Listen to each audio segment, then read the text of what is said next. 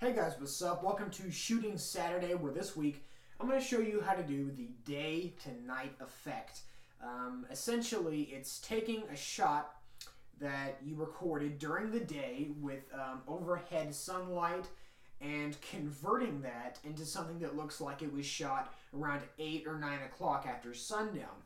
This effect is extremely easy to achieve, and there's just a few little tips and tricks that I'm going to have for you guys just to really sell the effect to make sure that it looks really nice. So here we are inside of Final Cut Pro 10, and before we do anything to our clip in terms of color, um, I went ahead and enabled stabilization, and I recommend you do this too if you um, shot your shot handheld. But since I've already done that, um, we can go ahead and begin with color. So let's go over to our color adjustment number one. Now this is my shot before I've done anything to it. And this is the overall look that we're going to try to achieve here um, with just some simple adjustments. So let's go ahead and begin.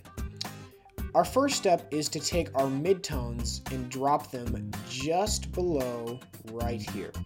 Okay? Now, it increased a little bit of yellow tinge to the shot, but this will all add up later, so just bear with me. Take your highlights and bring them very high to give it that midnight blue vibe. And that's all we have to do for color. Then head over to exposure, okay? You want to drop your shadows, really drop your midtones. This is what really sells the shot. And then drop the highlights, okay? The goal is to not have very much detail inside of these trees here so that it really looks like there's some intense shadowing going on here, which will really, really help sell the effect. You could stop here and um, call it done. We can go ahead and head over to Motion 5 if you have that editor. If not, thank you guys so much for watching Shooting Saturday, and I'll see you next week. But if you want to continue, you can just keep watching the video. So here we are inside of Motion 5 and what we need to do first is come over to the library, go to motion tracking and analyze motion. We're going to drop that on top of our day to night, which is the clip that we um, exported from Final Cut Pro 10 earlier on.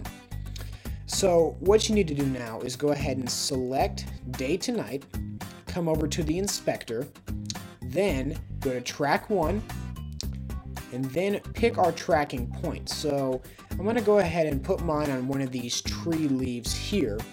Then we analyze.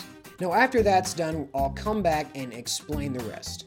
So now that we have um, tracked our motion, you should have this funky looking, almost like um, a funky roller coaster or a graph, if you will. Now, what you need to do now is go ahead and bring in um, a picture of the moon. That's what we're doing here. And now this picture of the moon is very special because as you can see, it's just the moon. There isn't any white or black here. It's because it's a PNG, which sometimes PNGs um, can have transparent backgrounds. So to get this special image, you can go ahead and head over to Google and type in moon PNG or moon transparent background to get one of these special images that are great for video so that you can add them into things like this. So what you're going to do is resize it and then position the moon where you want it to be, okay? Um, all you need to do now is just a few more simple steps. So you click on the moon, right? We go back over to our library, motion tracking, match move, bring that on top of the moon. You following me here? Then we click on our moon again, then inspector, behaviors, okay, right here. Now, this analyze motion, we drag this on top. Then a gear will show up and now the moon is tracked.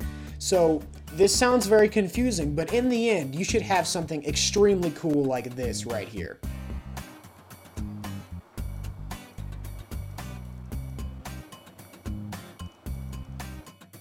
So in the end, I hope that this tutorial helped out with you guys a lot. Um, I'm extremely impressed with how I can take a shot of the day and just make it look like it was shot at night. So I just think that's really cool.